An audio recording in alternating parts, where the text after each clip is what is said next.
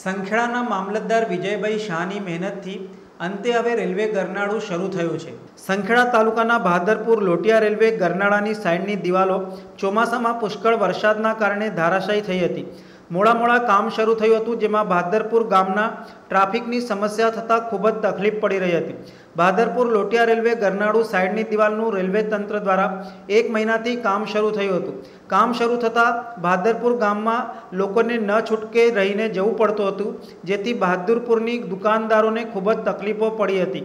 આખરે સંખેડાના મામલતદાર વિજયભાઈ શાહ દ્વારા જણાવવામાં આવ્યું હતું કે સતત ત્રણ દિવસ સુધી આ સ્થળની મુલાકાત લીધી હતી અને આ બાબતે રેલવેના અધિકારીઓ તેમજ અત્રેના કોન્ટ્રાક્ટરો સાથે ચર્ચા વિચારણા કરી કામ પૂરું થાય તે માટેના પ્રયત્નો કર્યા હતા.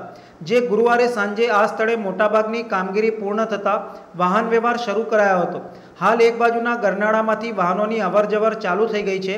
ભાદરપુર અને લોટિયા વચ્ચે રેલવેના ગરનાળામાં વાહનોની અવરજવર શરૂ થતાં ભાદરપુર ગામમાંથી ટ્રાફિકની સમસ્યા ઓછી બનતા સ્થાનિકો તથા દુકાનદારોમાં આનંદની લાગણી જોવા મળી હતી. સંખેડા તાલુકામાં આવેલ લોટિયા ગરનાળાની અંદર ગત ચોમાસામાં ભારે વરસાદને કારણે એની સાઈડની દિવાલ તૂટી પડતા ત્યાં આગળ વાહન વ્યવહારને તકલીફ પડતી હતી. એના કારણે ત્યાં આગળ એનું રિપેરિંગ કામ ચાલુ કરવું પડે એવું હતું. જે ફોલોઅપ કરવાથી એ કામ છેલ્લા પંદર વીસ દિવસથી શરૂ થયેલું હતું. પણ એ કામ શરૂ થવાના કારણે આપણા સંખેડા તાલુકા બહાદુરપુરના આજુબાજુના લોકોને ટ્રાફિકની અવરજવરમાં ઘણી તકલીફ રહેતી હતી. જેથી આ સત્તાવાળા સાથે અને ત્યાં કામ કરનારા માણસો સાથે સતત ફોલોઅપમાં રહી અને કામ વહેલું પતે એના માટેના પ્રયત્નો હાથ ધરેલ હતા.